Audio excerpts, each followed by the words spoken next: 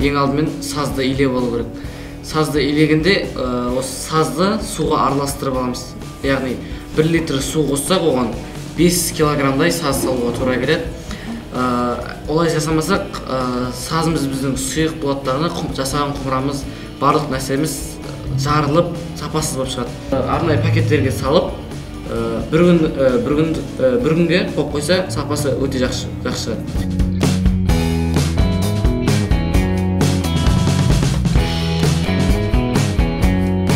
негізінен құмыраны жас, құмыраны жасау үшін ең алдымен саздың ортасына келтіріп алу керек. Қолды негізі қайта қайта ә, сулап тұру керек. Себебі егер де қолды сулап тұрмасаң құмыраң ә, қолға жабысып сынып кетуі мүмкін. Енді ортасын тесеміз.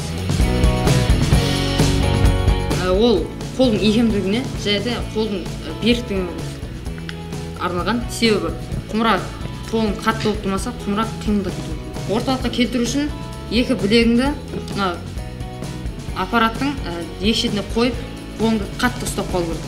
Енді құран құмыраның ішін тесіп болдық. Енді бұның қабырғасын көтереміз.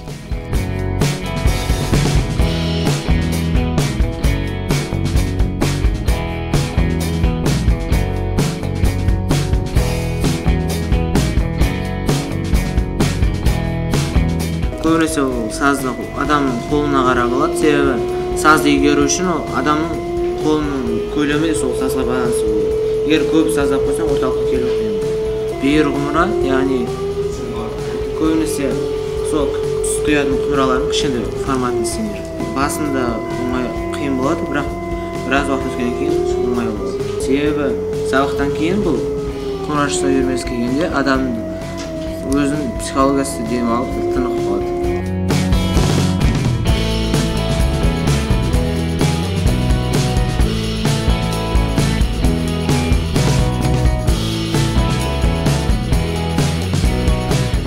таңбалы оны өзің фантазияңа байланысты өзің ойыңа байланысты жасайсың әркімнің ойы әртүрлі болады бәрінікі бірдей болмайды адам ойына байланысты әртүрлі шедеврлер дүниеге келеді сол арқылы танымал болып өнерді дамытады мен өз мен өз атымнан көптеген құмыралар осындай таңбалы тастар жасадым басқа да жарыстарға қатыстым бірінші орын алдым аспаннан қарағанда әлем дөңгелек болып көрінеді және үлкен заттар кіші болып көрінеді. Сол себепті адам әр адам өзінің түсінігіне байланысты түсуіне байланысты оны солай түсінуге болады.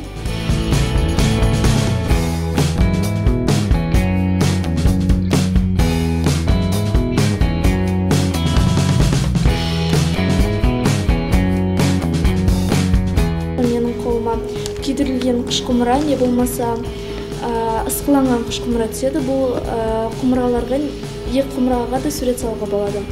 Негізіне күйдірілген құмыраға салынған сурет өте әдемі шығады. Оның бірі мысалға өздеріңіз көріп тұрғаныңыздай мына құмыра болып табылады.